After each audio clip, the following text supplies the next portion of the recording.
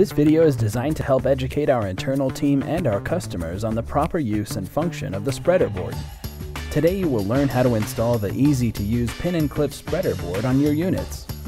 You will also learn the importance of the spreader boards as they pertain to damage avoidance.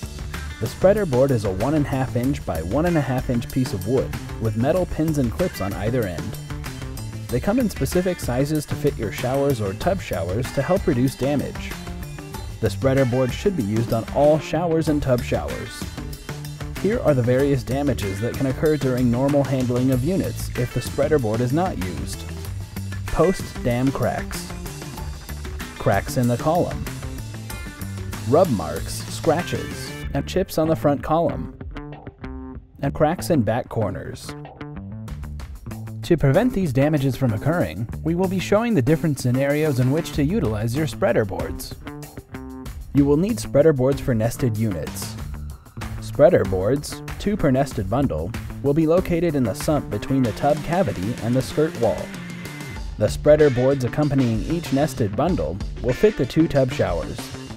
For the nested bundles, if you store the units nested, please keep the spreader boards in the sump location until time to unnest.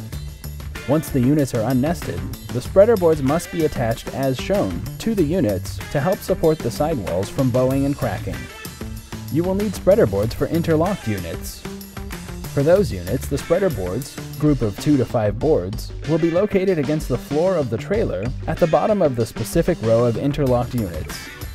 Each row will have the same number of spreader boards as there are showers.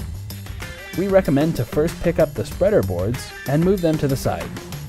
Then as you unload the interlocked tubs, attach the correct size spreader board to each shower as shown before storing the units. Again, the spreader boards are used to prevent the sidewalls of the showers from bowing and cracking.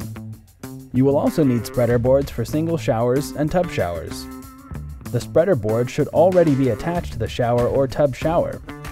Those are the different scenarios around when and how to use spreader boards to help protect your bathing units. If you receive units without a spreader board, please contact your ABG customer service representative immediately so we can address the problem internally and get a spreader board sent out to you. Thanks for your time, and remember, these boards help us to better serve you and your customers. Please take the time to use them on each unit